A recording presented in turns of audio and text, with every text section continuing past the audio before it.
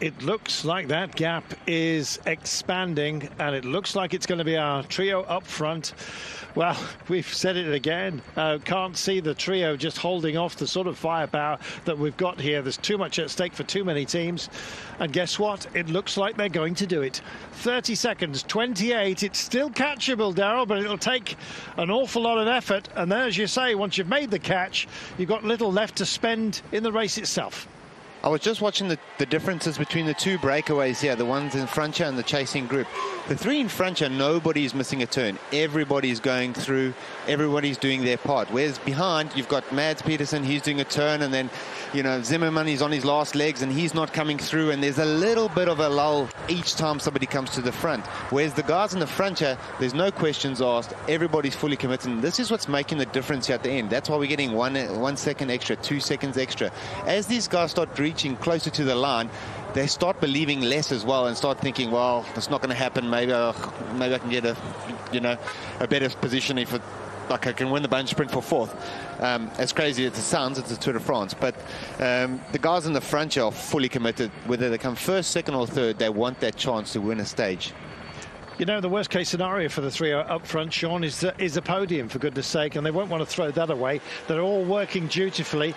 They, they are building a little bit of room in here to come under the five kilometres to go banner. Uh, they're building in a little bit of cat and mouse room here. It's getting up to 35 seconds. You've seen uh, um, Jasper Philipsen, who's really showing a darker side to his character of late, haranguing Mads Pedersen, who's on his own and has done so much work today. And it looks like that lack of cohesion is being displayed with a 34 getting on to 35 second margin, which is going to allow these guys to sprint alone. Well, these guys, they're all stage winners, of course, in the Tour of France, and they're all thinking about winning. And as we get uh, closer to the finish, they're going to think, well, what's my possibility here against those riders?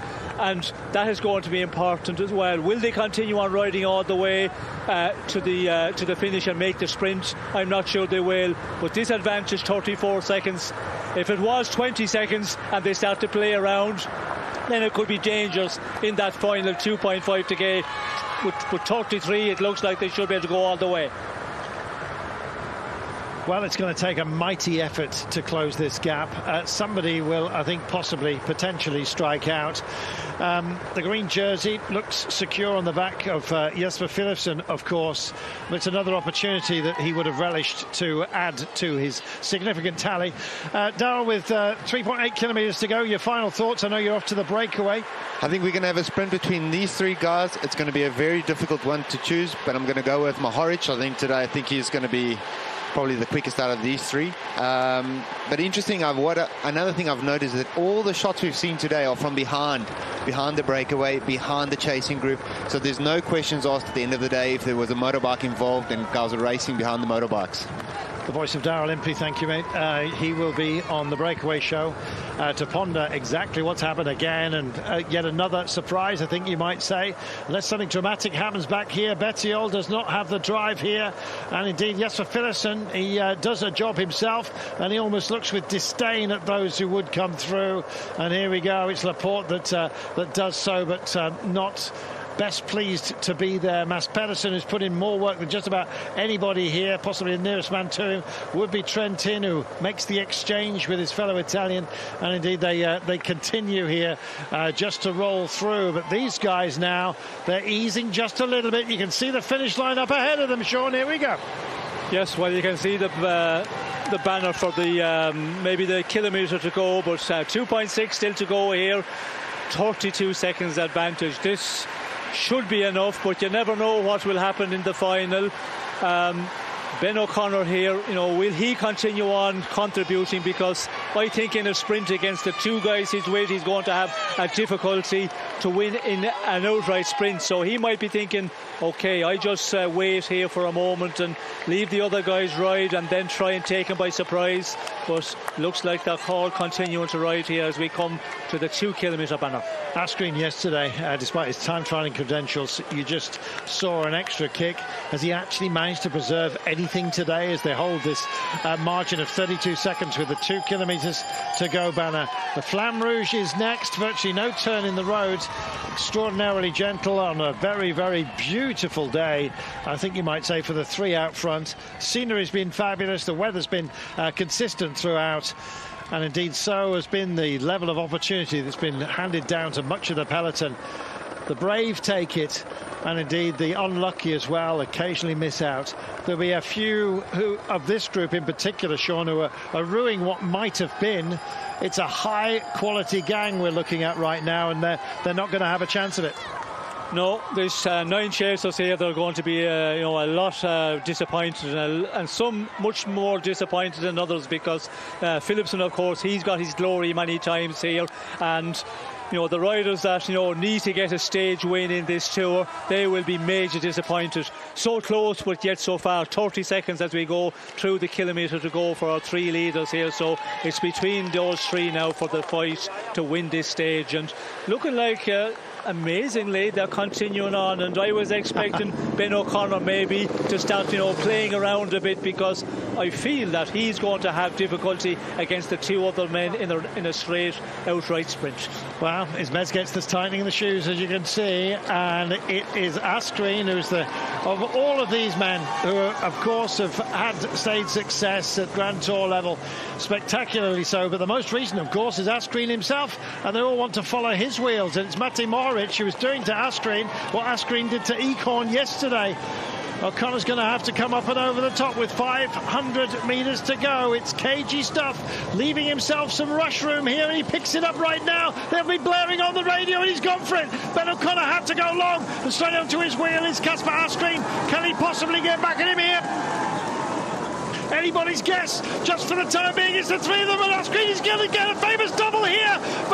It's going to be heartbreak potentially. Mohoric is leaving it very, very late to come around him if he possibly can. But Asgreen's got a fantastic drive on him, and here comes Mohoric. It's going to be on the throw between the pair. Oh, photo finish! Photo finish! Nobody knows who's got that. That was absolutely remarkable. And now we will look for the minor places. Points up for grabs, and it's most likely to be Mr. Angry who comes through in a few moments' time. Jasper Philipsen wants more points uh, up for grabs. And of course, he's got the lead in of Mathieu van der Poel as well. And this is almost, you could have scripted it, I guess. And a man who says, No, you're not having this all your own way. I'm a tough guy on a tough day. And Mads Pedersen comes through and maybe dreams about what might have been. Let's see indeed if uh, can come round and tries to, using the anger and adrenaline, and indeed makes it. Fourth place for him, fifth indeed for uh, the man from Lidl, Mads Pedersen. My life, what a day. Three and a half hours just over, and what a finish we had as well. They were wrestling each other down there. There's still others to finish, but it's only going to be minor places, I'm afraid, for they. And wondering what might have been. Haller has decided to, to pull off the front here. It'll be him. But just check this out. We wait for the results. Sean, still not sure? Yes, it looks like Asgreen just held on there, and uh, Mohoric, uh, you know, was in a prime position because Asgreen did take it up that bit uh, further out, considering the difficult day they had. But looks like that Asgreen again had that power just to hold off and get a second stage victory. Well, if it is, there'll be no surprise. The the joy unbridled, I think, for Asgreen after winning a stage yesterday. And may well have doubled up. We're still waiting for the official result. We'll have a, uh, a photo for you. Uh, at the moment, it's being informally declared as Mohoric. So let's wait and see. The margin will be extremely tight. Ah, Julien Alaphilippe wondering what might have been today, getting the biggest cheer of all. Let's have a look at it, Sean. Off you go. Wow. It's on the throw, and here it comes. Ooh. There it is, Mohoric. It is at the line, on the throw, and that will go down as extraordinarily welcome to Bahrain victorious, who've already tasted success, of course, in this race. Wonderful.